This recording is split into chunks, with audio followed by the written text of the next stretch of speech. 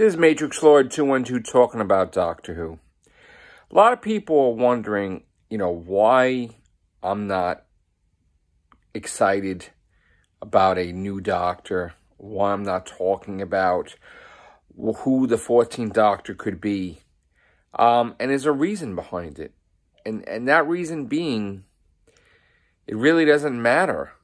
Um, as shocking as it is for me to say it, Ch Chris Chibnall is still the showrunner.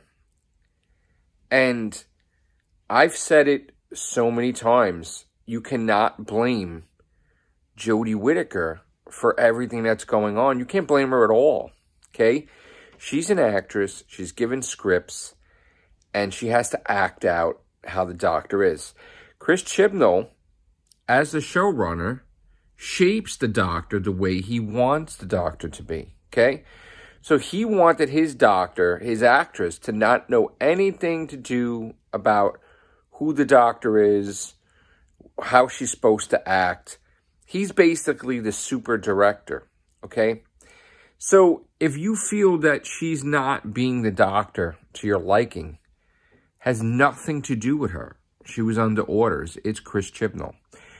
In her spare time, she has watched Doctor Who. She has changed her character based on watching and binge watching tons of stuff.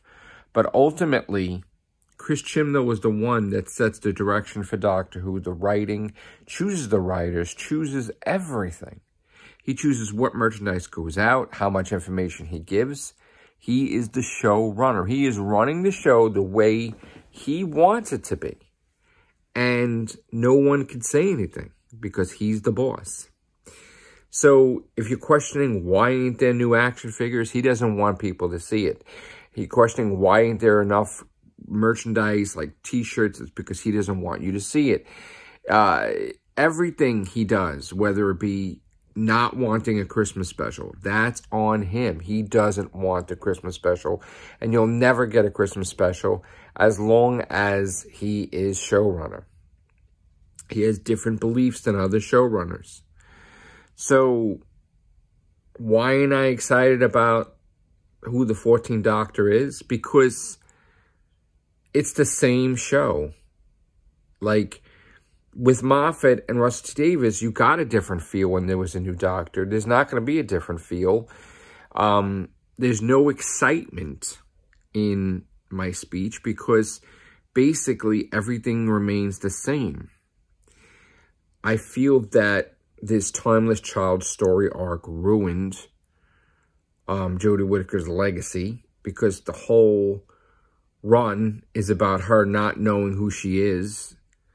Meaning, like, now the Doctor isn't a Time Lord. Now the Doctor isn't from this universe, isn't from Gallifrey. And now you just, going into the 60th anniversary, you kind of shit on the legacy of Doctor Who, where her whole role as a doctor is questioning things.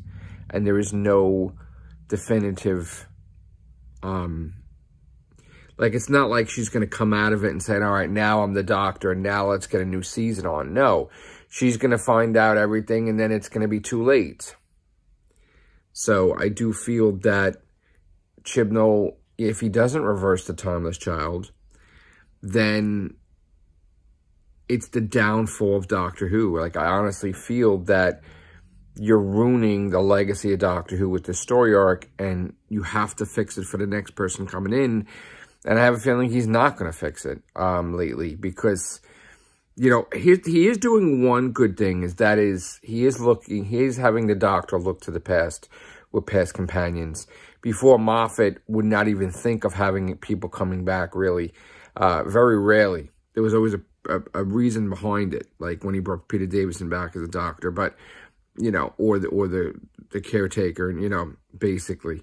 Um, but the whole point is that he he looks back, which is good, but then there's bad qualities, and bad qualities is the show has lost its feeling, its heart. It, it, it, the soundtrack is not movie style, trailer driven, emotional like, it just doesn't have what Murray Gold has. And it's his style, that's true, but you can't get it, you can't listen to his music and listen to it over and over and over. The only thing you can listen to with his soundtrack is the Master's theme, but other than that, there's nothing that's even memorable. It's just noise and and percussion and different things, and it's not like Chris Chibnall does not put everything into making Doctor Who have feeling and emotion and warmth. He says that there's fam, but there's no real sense of fam, family. Um, he made the doctor detached, where she's not close with Graham. Like, he doesn't, like, it's just not there about, like, him having cancer and talking to her and her not really talking about it, opening up about it. But, and even this whole thing about the doctor and Yaz, the doctor and Yaz, it's like forced because like now Yaz is in love with the doctor. Doc doesn't know that. So it's like, you know, this is what I'm talking about. It's just, he can't develop characters like Russell T. Davies. He can't develop story arcs like Moffat. He's his own man as a showrunner, Chris Chibnall.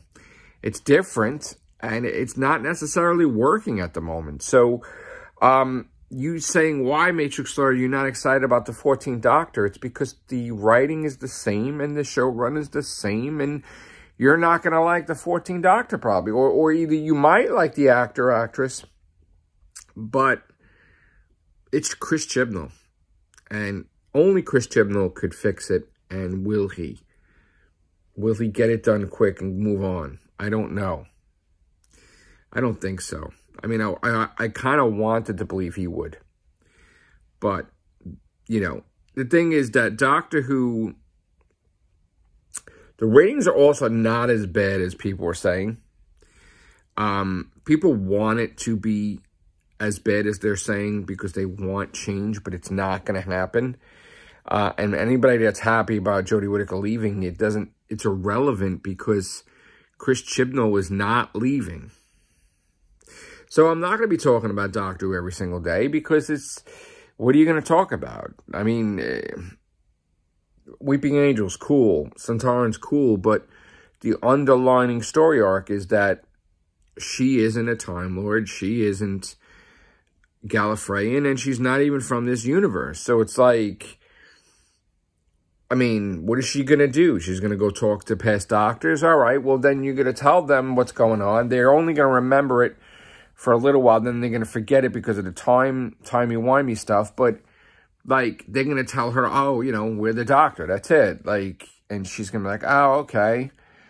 But you just got to make it that the master didn't even know what he was talking about. That the master was duped. That's all. All right, guys. That's my thoughts on this whole 14th Doctor. There's no hype at all. It, you, you can't get hype about something that's not here's the thing. While the ratings isn't as bad, okay, the fan base is just not as interested. Okay? It's kind of like you want to get hype for something, but there's no hype because the, the very storyline is bringing down the show. There's two storylines going on at the same time, okay? The only storyline that people care about is where Jo Martin fits in as the doctor. They don't give a shit about the Timeless Child at all. They really don't. They're not fucking crazy about it. They're not, you know, and people say, no, oh, it's exciting. Yeah, they say it's exciting for like a couple of months. But then they're even like, oh, Jesus Christ, will this be over with already?